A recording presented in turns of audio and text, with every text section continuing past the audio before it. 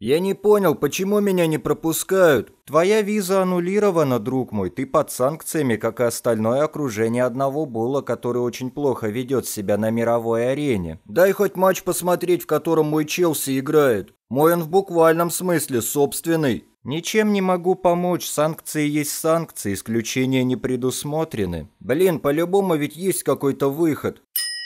Придумал.